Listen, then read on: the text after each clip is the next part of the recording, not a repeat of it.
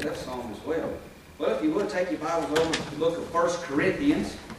The book of 1 Corinthians. I appreciate this particular day. I love new beginnings. How many here like new things? You like new things? I love new things. I love the smell of a new car. I love the smell of a new house. Man, you think big, huh?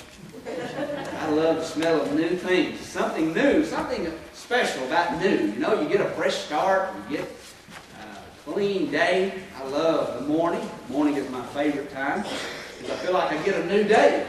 I wake up, I love to see the sun come up, and I'm an early morning guy. I'm not a late night guy. I don't like, I'm not a night owl. I go to bed with the chickens, my grandmother used to say. She said, I'm going to bed with the chickens. Some of you older folks might know what that means. Some young folks think you crazy. But uh, went to bed with the chickens. But I love to get up in the morning. I love to have a fresh start. I love something new. And today I feel that way. I feel like we got a new start. We got a blank page. We get to start it new and fresh and clean and get to launch out into a new year, 2015. I hope you have expectations of this year. I trust you not let it just be a redundant year, just another year. I hope you don't think that way. I hope you don't think, ah, just another year. I hope it's not that way. I hope you think you get a new, new year to live, a new day, renewing. Trust that'll be the theme of this morning's message. In 1 Corinthians chapter 9, I feel that way. I feel a newness, I guess, if you will. In 1 Corinthians chapter 9, I'm going to start reading in verse 19 give you the message I feel like the Lord has for us on this first Sunday of 2015. The Bible says, For though I be free from all men, yet have I made myself servant unto all, that I might gain the more. And unto the Jews I became a Jew, that I might gain the Jews. To them that are under the law, as under the law, that I might gain them that are under the law. To them that are without the law, as without the law, being not without the law to God, but under the law to Christ, that I might gain them that are without the law. To be the weak became I weak, that I might be gain the weak. I made, made, made all things to all men, that I might by all means save some. And this I do for the gospel's sake, that I might be partaker thereof with you. Verse 23 is the reason or the goal for this message, but that I might do it for the gospel's sake. I might die to self. I might be a person that is given to God. Why? So the gospel could go forth. Verse 24. Know ye not that they which run in a race run all, but one receiveth the prize? So run, that ye may obtain. And every man that striveth for the mastery is temperate in all things. Now they that do it obtain a corruptible crown, but we an incorruptible. I therefore so run, not as uncertainty, so fight I, not as one that beateth the air. But I keep my body in to bring it into subjection, lest by any means that when I have preached others, I myself should be a castaway. Well, this theme in these few verses here in 1 Corinthians chapter 9 about running, I feel like the Lord wants us to go through this 2015 with this one theme, with this thought, with this idea, this entire year, is we're running a race. We're running a race, and it's called life. And we only get one chance to run this race. You only get one lap around this thing. You're not going to go back, and you're not going to rewind. You're not going to go back to a certain time. And I read the Bible, and it says one day is a year, a thousand years. And when I read that, I think, you know, yesterday, uh, it, it, it might as well be a thousand years ago. You woke up this morning with a fresh day, and tomorrow you'll wake up tomorrow, Lord willing, and this day that you're living in right now will be as, as of a thousand years ago. It won't matter in the sense of can regain it. All you have is right now and what's ahead. We're running a race called life. Speaking to my wife this morning about a race, and she's preparing to go uh, very soon in March, I think, run a half marathon with her family there in Nashville. And so she's, of course, been running and training and preparing. And I think about running a race, and you know, there's so many things into running a race. You got to die to self. There's a self-denial when it comes to running. Paul is encouraging here in this Corinthian church. This particular church is a very carnal church. If you'll study the Bible and realize that when he writes to the church at Corinth, uh, they're always in some carnal activity. They're always doing something they ought not be doing. There's some vile sins that you're committing. There's some, there's some sins in that church at Corinth that Paul is always dealing with, and he's always trying to correct that church, and he's always trying to get them to understand of their error, and so he's always writing to them, and he's always trying to rebuke them and get them right with God, and they're just living in sin and not doing that which is right, and so he's always writing to the Corinthians and saying, look, you need to get right, you need to do this, you need to do that, and he's always trying to correct them.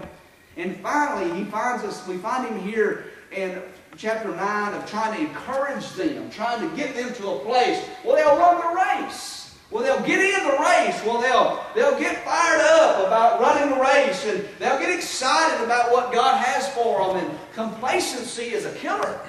Complacency, well, just it's just a mundane kind of thing. It's just redundant to do, uh, go to church. It's just redundant to read the Bible. It's just redundant to pray, and it's just repetition, and all that's just nonsense. I'm praying and been praying early this morning that God would awaken us that we're in a race, that we're getting ready to run.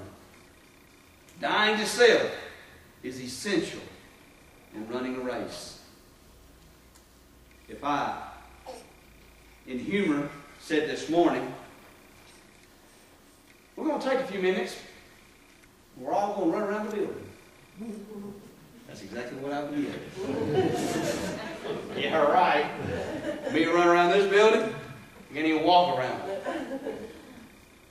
But you know, truthfully, very, very honest with you, that's what a lot of people do spiritually.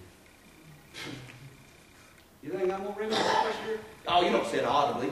You don't get up and boast about not reading your Bible, but really in truth, that's what you do. Because we're not ready to run the race. We're not fit. We're not, we're not, we don't condition our body. We don't exercise. We don't do anything spiritually. I'm, I'm relaying something physical with something spiritual. Jesus did all that all through the New Testament. He did a parable. I love the parable because he would take something physical and he would teach something physical into something spiritual. That's a parable. That's what the New Testament calls a parable. And that's really what he's doing here. Paul's writing, he said, it's like running a race. It's like you getting prepared. It's like you working out. It's like you getting in shape. And I comically try to run with my wife sometimes, and that's, that's a comedy show in itself for me to try to run with her. But we've been on vacation before, and I remember being uh, somewhere at Dauphin Island, I think, one year, and uh, she, of course, runs everywhere we go, and so she gets up and to run down the beach or run, and so I said, well, I'll go with you. Yeah, that's what she did. really? I said, yeah. So I put my sneakers on. I've never run hardly any at all with her, but I get out and I run a mile with her. Right there, you're supposed to go. a mile? I ran a mile, man. So I'm running, and uh, of course she she's gone. You know, I like, go on. Oh, good. So I, I did determine I'm going to run a mile. Uh, then I'm going to determine I am going to run back.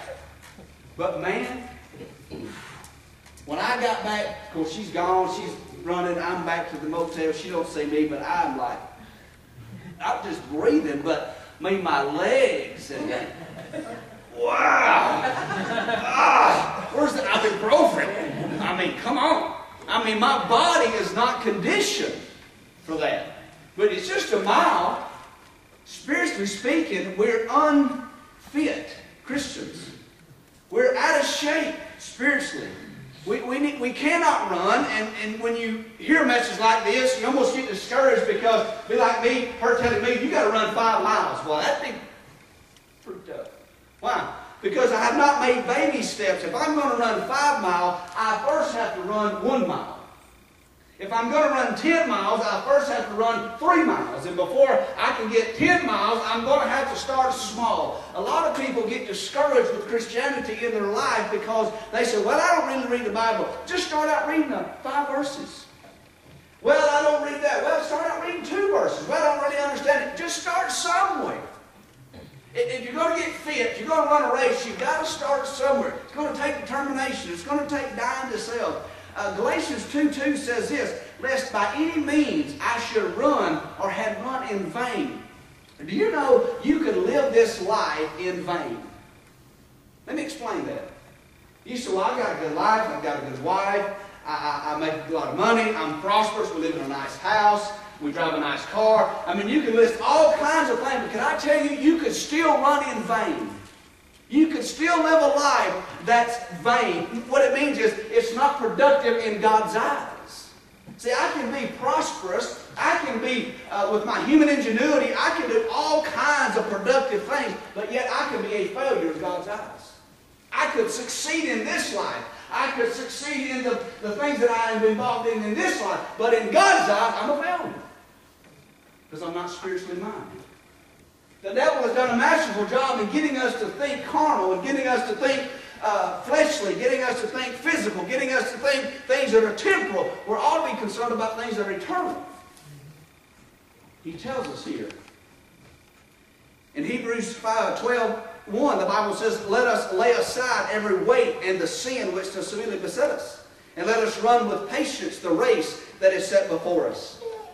I can't help but think of another one. I think lay away, lay aside every weight. When she runs, my wife does not run with 20 pound weights on her legs. And I know some people train in a sense of training to run, but you don't see runners running around with a lot of clothes on, a lot of baggage, a lot of luggage, and you don't see that. Why? Because they're trying to run a race. They're, they're getting rid of the things. I, one of the things I uh, think of often as I went with my wife one year to the Nashville Marathon. She was going to run a marathon, and so I went with her to do it just before because I sure wasn't going to run with her. So I'm there with her, and she's in the G block, A, B, C. I mean, there's I forget how many hundreds of thousands of people watching. There are like 80,000 running it. And G, she's in the G block, and G block is when that's the time you say you can run a mile, or the, a mile, so that it puts you in a block. So she's in the G. It takes her 30 minutes to get to the start line. And so she's got this bracelet on, and so that lets her know that's when her time starts, when she crosses that line. But the interesting thing about that race, I'm standing on the sideline, I'm taking a picture here, a picture there, and when the gun goes off, I'm not exaggerating. There was enough clothes thrown on the side of the sidelines to clothe this entire town. There was hats and gloves and goggles and toboggans and sweatshirts and I'm talking about it looked like when they crossed the line, of course it was cold, it was in March, so it was cold, so everybody's bummed because you're just standing. But when the gun goes off, man, I'm talking about it's like somebody's closet threw up. and they literally, the, the city of Nashville comes along and they've got a crew that just picks up clothes. What are they doing? They're laying away, man. They're getting it away. They're getting it off. Why? Because they're running. They're not going to be hindered by a shirt. They're not going to be hindered by something that would stop them. They're going to get rid of it. That's exactly what God is telling us in Hebrews. We're going to run a race this year. We're going to run a race for God. We're going to have to get rid of some stuff. We're going to have to trim off. We're going to cut back. We're going to have to do something. If you're just going to sit and not do anything for the race, you're going to run the same way you run last year. You're going to change some things. You're going to move some things around. And we get it right out of the text. Notice what he says. I'm going to give you the first thing on how to run. I've entitled this message, Run to Win. And I don't know about you, but if I realize and understand that if I've only got one race to run, I'm going to win it. Now, I'm not a huge sports fan, but I have seen some, and it always interested me to get down to the last few moments of the game. And what do they do? They play like some kind of maniac. Why? Because they got just a few minutes tied up. We're going to play this thing. I mean, we're going to do all we can do to win this game. We ought to have that mentality with Christianity. You say, well, it don't mean that big a deal. I mean, we got our whole life, do you? Well, I've got, I'm just 20 years old, man. I mean, I'm just 25. Do you? How much life do you have? How, how, much, how many days do you have? Job 14 tells us our days are determined. Do you know you have a number? And we're just numbers in God's eyes. I'm glad I don't know my number. And I'm sure you're glad you don't know your number. But you only have a certain number of days. That ought to ignite something in us. That ought to do something. That does something for me to know, look, I've only got just a few days to serve God. I only got a few days to run my course. I've only got a few days to run. Why walk? Why sit? Better yet. Notice he says in verse 25, How in the world can I run? How can I make the most of my life? How can I do this? I want to know. How can I run and that I may obtain? It said in verse 24. First word is strive. Notice he says, And every man that striveth for the mastery. That word striveth give us the word, give us the idea of effort or purpose. I'm striving to be a Christian. I'm striving to be an employee. I'm striving. I'm working at it. I've got purpose. I've got effort. I'm doing this for a reason. I'm not doing it just for fun. I'm not doing it just because I think it's a good thing to do. I'm not coming to church just because I like coming in the building. I mean, there's a reason. There, there's, I'm striving. I'm working at it. I'm digging for it. I'm looking for it. I'm working at it. There's a striving that should be in our life sit down and do nothing. You know, one of my pet peeves is laziness. In, in, in, the past, and I've got guys work for me and, and, and labor, and I thought, you know, I, I don't, I don't do, I'm not, a, I'm not a dictator when it comes to boss or, or whatever, but laziness just, whoo, lazy just, ah, I can't hardly handle it. Hey man, we need to get this, uh, we need to get this rock, uh, we need to get this dirt. Okay. ah! I, hey, best way you can help me, just go sit in the truck.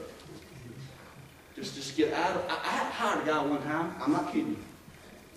Then I'm gonna run a rabbit right here real quick.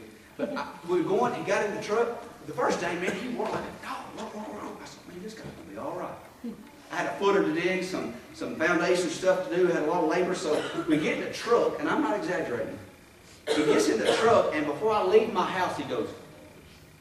I was like, oh, it's early in the morning. Know, it's 5 30, 6 o'clock in the morning. No big deal. He sleeps all the way to Knoxville. Okay, that dude's tired. Yeah. I get to the job, he's never woke up. I'm working now. It's like 9 in the morning. Running machine, boom, digging excavator, bobcat, sound sleep. I go over, I go in the truck window and stood the neck. little, alive.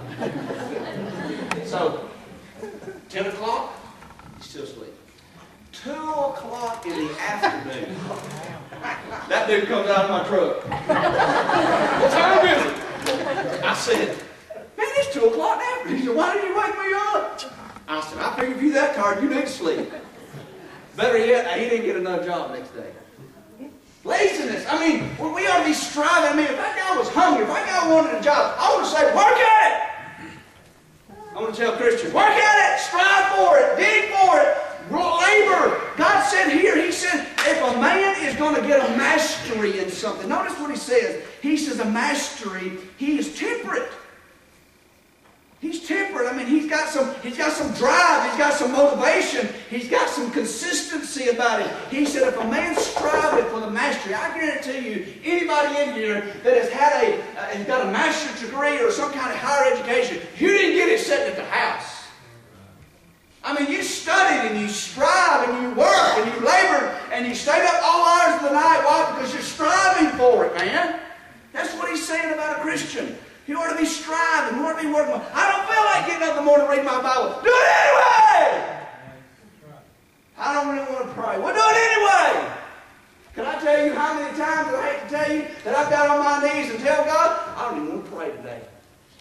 You know why? Because God said, strive for it. Work for it. I mean, it's going to take labor. It's going to take effort. It's going to take energy. Striving. He, likens it to this, this striving. Notice he, he likens it to people that live in the world. Notice he says, now they do it to obtain a corruptible crown. He says, you've got people, you know the Bible says the world is wiser in their own way than Christians.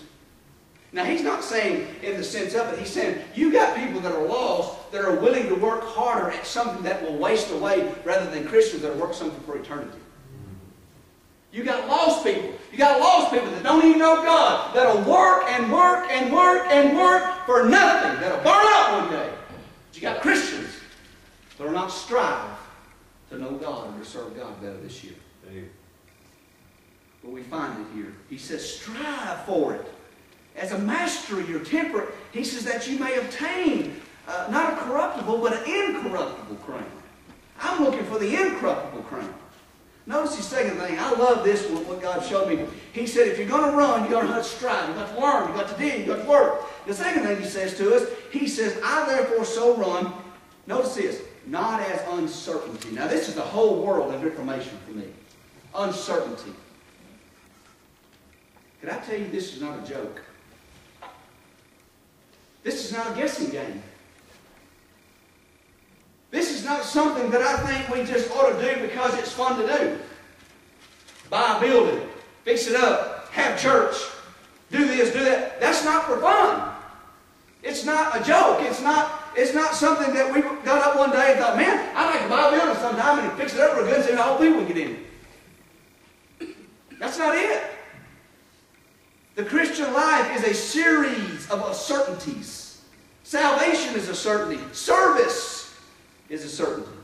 I get a promise. It's, when I read this, and if God tells me to strive, He not only says, I'm going to let you strive, but I'm going to give you some certainty for it. He tells us about reward. Oh, God was so kind. God is so merciful to say, if you serve me, I'll reward you. God is so merciful to say, yes, you can do that which is right. Yes, you can strive. And when you strive, you win. Isn't God so merciful? If I did not believe, if I did not believe uh, two miles deep in my heart that what we're doing is affecting eternity, I'd slip my Ariat boots on, throw my Hereford saddle on my spotted mare, and I'd be riding horses today. But there's something real about this. There's something certain about this. Hey, God's in this, and God said if you strive for the mastery, if you'll strive, if you'll run, you will get reward. I mean, he said it so plain. He said, if you work at it, if you strive for it, if you labor for it, there is not some joke. It's not going to get to the end of life and stand before God and say, oh, that's just a big joke. That's not it. It's for certainty. Paul said, I'm not doing this just out of uncertainty. How many, how many people would get up and go to work Monday morning knowing, knowing that you didn't have a check on Friday? Well, you'd be a fool, wouldn't you? I've been in places and I've done work for people that didn't get my money. Didn't pay me when I said I'd charge for this and that. But you know, God's not that way. God is a good rewards man. I love God's reward. Notice he says, I'll, you to turn over, I'll just read some. But I'm telling you, I, I, I wish God by His Spirit would give us the, the understanding to know how certain this thing is. Living like a Christian, living for God, serving God, is not just for fun. But there's some certainty to it.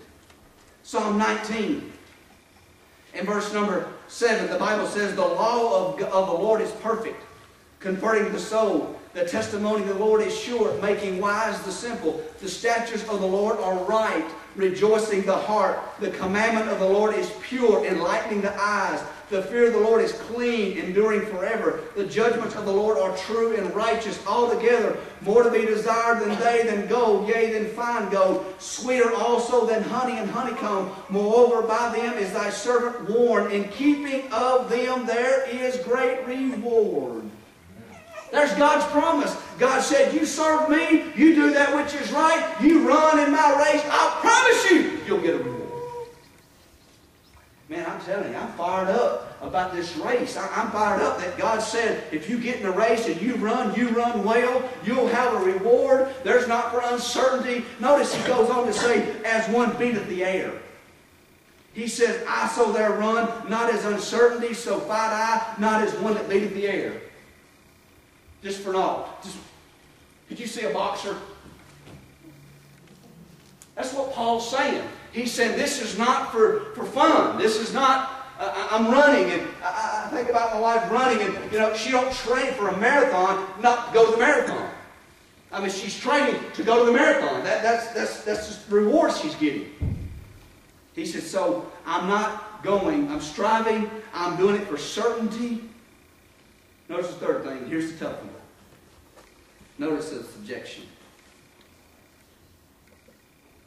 This is tough. But I keep under my body and bring it into subjection, lest by any means, when I have preached to others, I myself should be a castaway. You know what he's saying? I got out of the race. I quit. I quit the race. Paul is saying in a very powerful way, he said, if I don't keep my body under subjection, when I have done that which is good, he said, I've preached. I've done right. I've served God. If I don't keep my body under subjection, I'll find myself as a castaway. That penetrates my mind. That, that, that, that does something to me. Okay, I got to strive. I got to work for it. I'm in a race. I'm doing this for certainty. There's a certain reward in it. But I've got to be in subjection. I've got to, I have got to, according to God's word, bring my body under subjection. Can I tell you, this is our protection. Subjection is our protection. When we, as Christian people, bring our bodies under subjection, we're really falling under the protection of God. Because I don't want to be a castaway. Oh, one of the things that penetrates my mind and heart even now. To think that I've wasted my life. And I'm not saying serving God is. I'm saying when we when you set out to serve God, you're not wasting your life. Oh, may the Spirit of God right now give us understanding about the one life that we have. One life. That's it.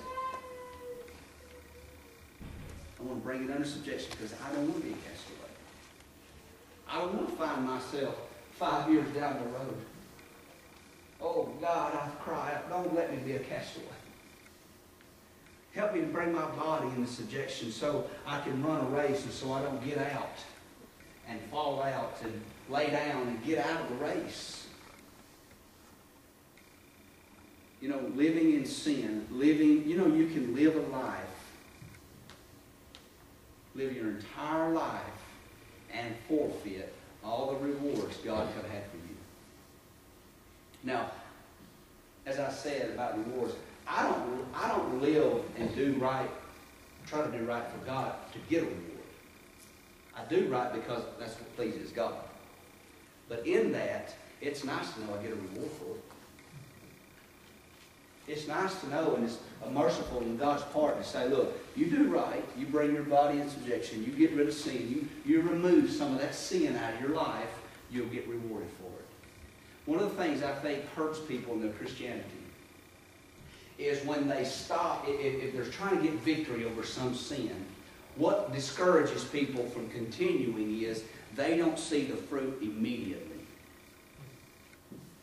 See, if I stop something over here, let's, let's say, let, let's just pick something. I don't know, pick a sin. I know thousands of them, pick one, and I'm going to stop it right here. Well, tomorrow, I think because I stopped it over there, I should get immediate results. It doesn't happen that way. It takes time. I mentioned a while back, I had a message a while back that I said there was things happened in 2010, 2010, that I'm just now receiving any kind of information about. I was thinking, I got up one morning and I was thanking God for this, and all of a sudden it dawned on me that was put in place in 2010. I was thanking God that He allowed me to live long enough and stay close enough to Him to see the reward of that in 2014, now 15. Living in sin will forfeit the rewards you could have won. And last thing, subjection.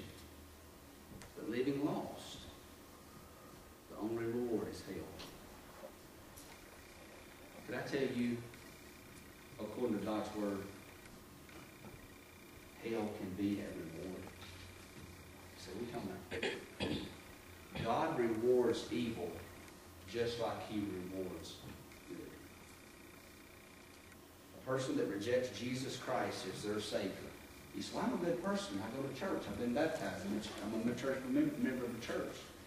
But if you've never personally received the Lord Jesus Christ as your Savior, you die without Jesus Christ, your reward will be hell. That's what the Bible says. And I don't say that lovingly. I don't say that with, with fun. I'm just saying, according to God's Word, the reward is hell if you live lost and die lost. There's a protection here. God sets up a perimeter. He says, look, stay inside this, do this, and you'll be blessed. Strive for it. You're in a race. You're in the race, regardless. You're, running a race. You're running a race of disobedience. You're running a race of obedience. You're in a race that is called life, so you might as well run it well. If I'm going to run it, sort of like driving somewhere. If you're going somewhere, if you're in a car and you're driving, you might as well be going where you want to go. Could you imagine just getting in the car where you going? I don't know. End up in Florida? I meant to go to Michigan. That's what's going to happen in life if we don't learn to run the race for God. We're going to stand before Him very soon, I might add. We're going to stand before Him. And we're going to in the was I doing? Why did I waste all those years when I could have been running for reward? Oh, dear church, if I could admonish you, if I could encourage you today, just set out to run a race for God. Going to take some striving. Take some labor. There's some certainty in it, though. Well, doesn't that comfort your heart to know that God said, I'm, it's certain, it's for certain that you will get something if you'll run it for me. I think God's so merciful to say not only in eternity, we get rewards here. You can have a blessed family. You can have a blessed church family. You can have all kinds of blessing here. Let alone eternity. We'll just run the race. Would you bow and pray with me? Father, we come to you. Lord, my heart's even stirred more when I think about the race that I'm in. My little realm of racing here. The little realm that I live in. Father, I pray that you stir the hearts of your people. If there's someone here that has never trusted the Lord Jesus, Father, would you by your Spirit reveal that to them? Prick their heart, bring conviction upon them, let them understand and know that if they live and die without you, they'll go to hell forever. Father, let that not be the case. Intervene by your grace and mercy. Give them courage and strength to make that step today. And Lord, sure, surely there's Christians in here that have not been running the race like they ought to. Surely, you'll not give me this message if it not be the case. You're trying to draw out people that are run a race. Oh, Father, would you please move and work? I'm going to ask you, would you stand to your feet? I'm going to give you an opportunity to come. This altar's wide open. God's dealing with you. God wants to take my life. You want to come. The place is a place of prayer. If you're lost, you've never truly been born again. Today's the day. Today's the day. You walk down the aisle and tell one of us around, somebody's around there's got a Bible, love to tell you how to get saved. Daniel wouldn't mind singing that song. If you want to fall in with him and sing it, take my life and let it be. Consecrate. Well, that's a prayer. It's really a prayer. Consecrated,